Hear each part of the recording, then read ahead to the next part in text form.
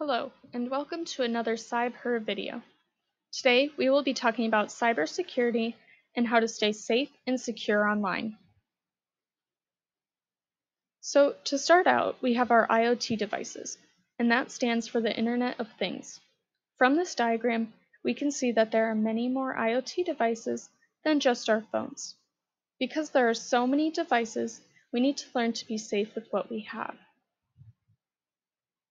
There are several ways to secure and protect your devices, but today we are going to be talking about passwords and accidental information sharing, which involves physical security.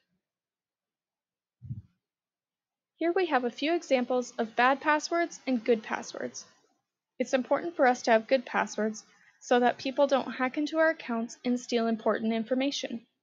The passwords on the left might seem nice because it's easy for you to memorize.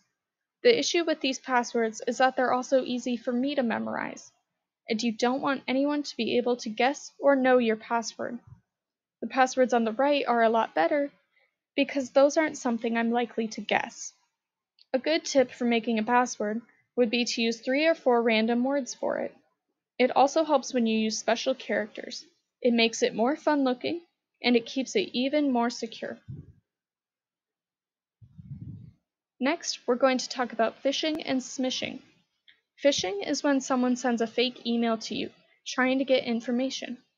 Smishing is when someone texts you trying to get information. We're going to go over a phishing email in a second, but first here are some tips to keep you safe from both of these things. When in doubt, throw it out. Just delete the email or text. Examine the from email address. Usually, if it's really long, it's not from your friend or a company. Don't respond to strangers. If you don't know them, don't reply. Hover over links to see if they actually go where they say they're going to go. Don't let logos fool you. Anyone can copy and paste them off the internet. Lastly, check your privacy settings.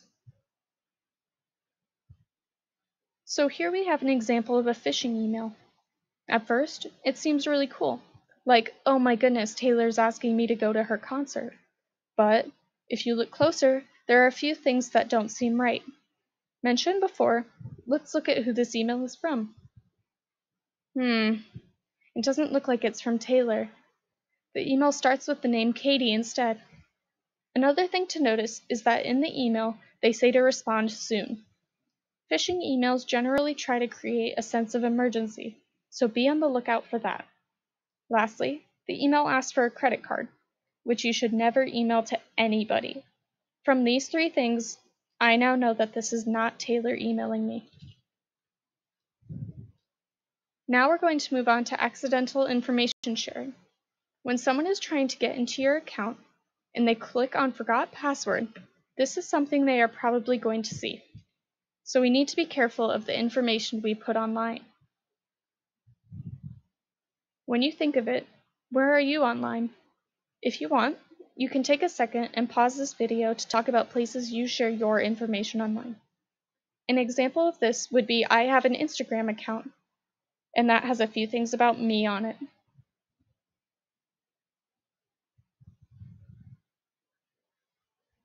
When you're online, these are a few of the things you should not be sharing at all. So your full name, home address, phone number, email address, school name, where you're at, or where you're going to be. It's important to keep this information private for not only online safety, but for physical safety as well.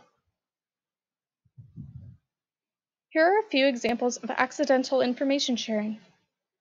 The one with the school bus is almost okay, but on the building you can see Bullwood Public School, which is bad because it's showing where this person goes to school. The bottom right picture is bad because it clearly shows an address on it. Lastly, the top picture is bad because on the girls' shirts you can read South Brunswick, and if I had to guess, I would say that's where they go to school. That's what accidental information sharing is. When you give away information about yourself without meaning to. So here are a few ways to stay safe from that. Number one, Understand you can't control information after it's been shared. Once it's out there, it's out there. It doesn't matter if you've deleted it or not. Next, don't talk to strangers online. Also, recognize the internet isn't true. I bet I could find a website about how fish can fly if I looked. Be sure to check on your privacy settings and make sure your microphone is off. Turn off location sharing. And lastly, continue learning about stuff like this. The internet is always changing, so there's always going to be new things we can learn about it. Lastly, I'm going to talk about the apps on your phone. When I was describing privacy settings earlier, this is what I was talking about. In this picture, it's talking about all the things this app needs turned on. You can see it says camera, microphone, SMS, which is text messages. In the bottom right corner, it says open settings, and here you can turn all of that off, and the app should still run just fine. Also, it's a good idea to go through your phone every once in a while and delete apps you aren't using because some of them will still be taking information. And that is all we have. I hope you guys enjoyed this video. And if you want to learn more, we have a ton of resources at cyber.org. Thank you for watching.